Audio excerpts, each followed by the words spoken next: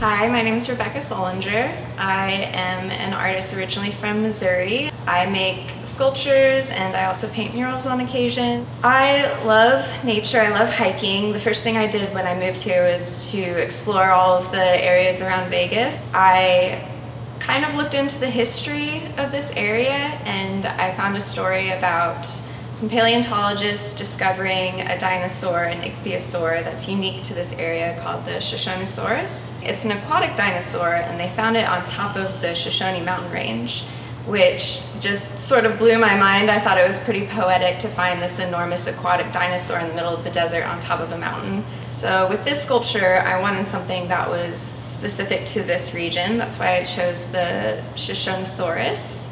I want Las Vegans residents as well as visitors to be able to look into the history of this area um, while they're in the outdoors and while they're enjoying the location itself.